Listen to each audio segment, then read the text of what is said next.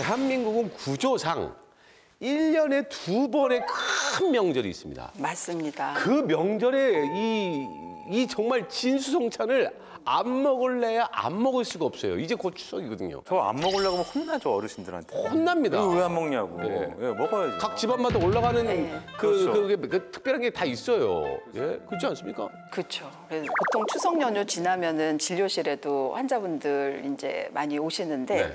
그 혈당이 급격히 높아져서 오시는 분들이 많죠. 네. 그 예상하고 오십니다. 네. 그래서 일단 진료실 들어오실 때 이렇게 점수 떨어진 그 성적표 받으러 오는 학생 같은 표정으로 이렇게 들어오셔서 이렇게 슬그머니 앉으시는데 네. 그럴 때 이렇게 혈액 검사 수치를 보면은 대부분 이제 확 올라가고 명절에 아, 혈당이 갑자기 올라갔는데 왜 그런지 아시죠? 그러면은 제가 좀 절제하지 못하고 많이 먹었습니다. 이렇게 얘기를 하시죠. 혹시 이거 명절 때 먹는 칼로리가 어느 정도 될까요, 교수님?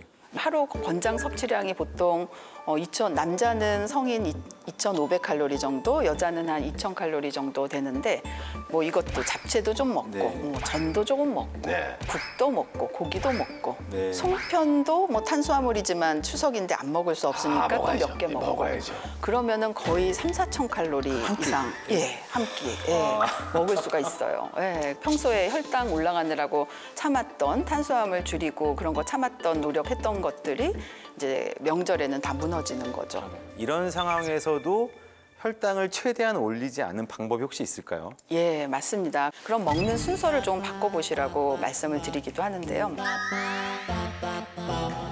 예, 탄수화물, 단백질, 식이섬유 순서로 먹었다면 이거를 거꾸로 식이섬유, 단백질, 탄수화물 순서로 바꾸는 건데요. 예를 들어서 음, 샐러드나 나물이나 이런 것들을 먼저 먹고 그 다음에 이제 고기나 생선 이런 단백질을 먹고 그 다음에 밥이나 이런 탄수화물을 먹는 거죠. 짜게 하면 안 돼요. 아, 그렇지, 그렇지. 네, 맞아요. 예, 예. 좋은 지적이십니다. 짜게 하면 밥이 무조건 먼저 들어가요. 맞아요. 그러니까 우리가 이제 고정관념이 반찬은 짜다라는 선입견이 있기 때문에 밥을 먼저 넣고 그 짠맛을 좀 이렇게 죽이기 위해서 중화하기 위해서 밥을 먼저 먹는 습관이 있거든요. 아까 집에서만큼은 좀 슴슴하게 해야 그렇게 먼저 먹겠네요. 그러면 교수님 말씀하신 것처럼 그렇게 순서대로 먹으면 똑같은 양을 똑같은 종류를 먹더라도 뭔가 좀 달라지나 보죠, 교수님? 어, 그렇죠. 일단 기름지고 짠 음식이 안 좋기도 하지만 네네. 단순당, 단순당이나 정제된 탄수화물이 혈당을 확 올리는 그렇죠, 그런 그렇죠. 주범이잖아요. 네네네. 근데 이거를 거꾸로 식사법 방금 네. 이렇게 하시면은 식이섬유와 단백질을 먼저 먹고 마지막에 탄수화물을 드심으로써 혈당 스파이크를 막아줄 수 있는 그런 방법이고요. 그리고 그렇게 드시면은 우리가 포만감을 좀 일찍 느낄 수가 있어서 과식을 막아주기도 합니다. 결국은 흡수 속도를 낮추는 방법이네요. 그렇죠. 예. 그리고 포만감 도 네. 어, 우리가 탄수화물을 미리 먹으면 포만감을 늦게 느낄 수가 있거든요.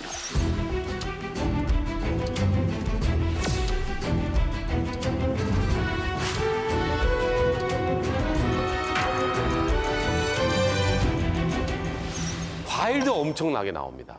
그럼 이제 과일도 엄청 요즘 달아요.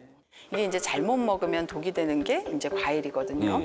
특히 그 요즘 같은 가을에는 이제 단감이 많이 나오게 될 거예요. 우리가 과유불급이라 이거 많이 드시면 단감이 아니라 우리 의료진들 사이에서는 독감이다 이렇게까지 얘기를 해요.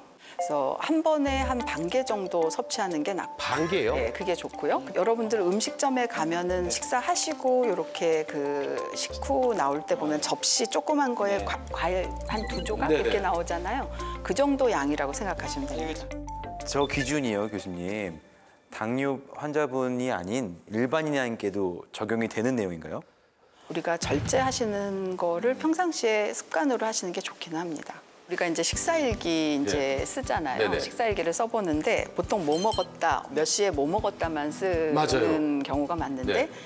왜 먹었는지, 그때 어떤 스트레스가 있었는지 네. 이것도 저는 같이 쓰게 하거든요. 아. 그러면 본인이 스스로 깨닫는 거죠. 나에게 뭐가 스트레스인가. 꼭 적다 보면은 아 그렇구나 나는 당직을 쓰면은 치맥을 먹는구나. 음. 이거를 다른 방식으로 좀 풀어볼까 이런 생각을 할 수 있다는 말씀이시죠? 예.